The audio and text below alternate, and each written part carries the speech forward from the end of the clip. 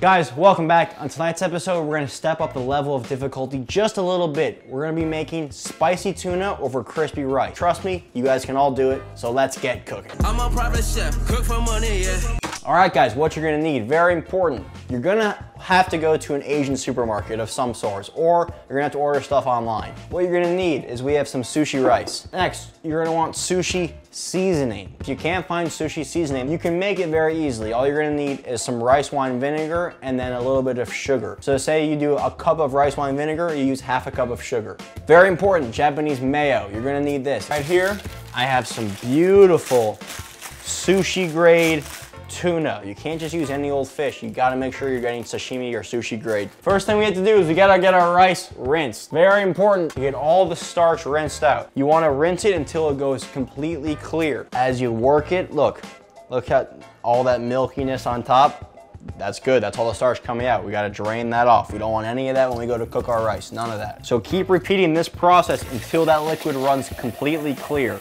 Our rice can go in. I'm using the uh, pressure cooker to cook my rice. It does a great job. If you have a rice cooker, use that. And with a pressure cooker, it's a one-to-one -one ratio of rice to water.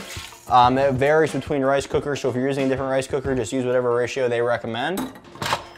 While the rice is cooking, we can go ahead and make our sauce. All my bowls are dirty. It's very easy. It's that Japanese mayonnaise. It's some sriracha. It's a little bit of soy sauce, a little bit of sesame oil. Just a, like a haberdashery of it.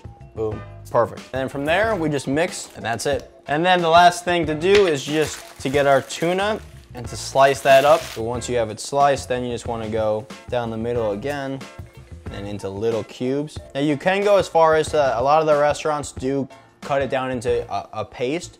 You can do that if you want. It's just more choppy and more mashy until it's in paste form. That we can go right into our sauce mixture and then just give that a nice toss. Get everything coated. You can throw in uh, you can throw in a spring onion, which I think I'm gonna do. I'm gonna stick this in the fridge while our rice finishes cooking. Just cover this with a little plastic wrap, pop her in the fridge. Okay, rice is done cooking. Now this is very important. Ah!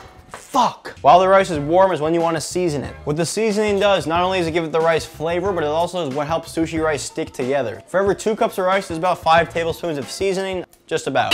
And now give that all a good mix. Grab a tray, get some plastic wrap in there, get your rice into the center. Get into about an inch slab and just fold it over.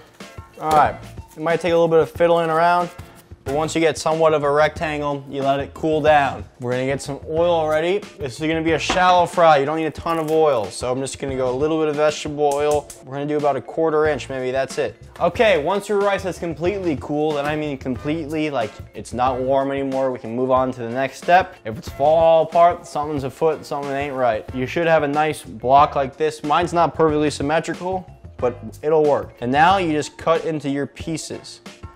That'll work. Now we can go ahead and fry these off about three minutes on each side or until each side is nice and golden brown. Give it a flip. Don't rush it though. See like, see how that's not all the way done? Let it go. Let it have take its time to get perfectly golden brown because you flip too early, you're not gonna get that crisp. That's the whole point of this dish is to have that crunch.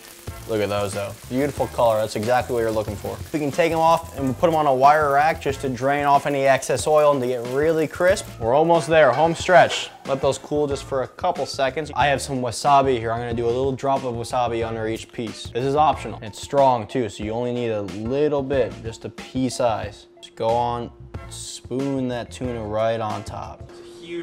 Yeah, that's a big gander. That's my piece. You don't get any of that crap. Beautiful. Still got some tuna left. I don't want that to go to waste. Rob, you want a snack? Now, some sesame seed. And then finally, our jalapeno. And there you go, guys. Woo, look at that. You make this, I tell you what, you're gonna spin some heads. And guys, that is how you make spicy tuna on crispy rice. There's not much more to say, but to try one of these out. So let's go in for a bite. Cheers. Mm. Wow, incredible. You make this at home, you're gonna impress somebody. It's grandma's birthday, impressed. By the way, we have to send Gigi shit. Yeah. Fuck. And guys, that's gonna do it for tonight's episode. That is a spicy tuna on crispy rice. I'll see you guys next time. I'm Donny. Peace. Come here, boys. I'm a private chef, cook for money, yeah.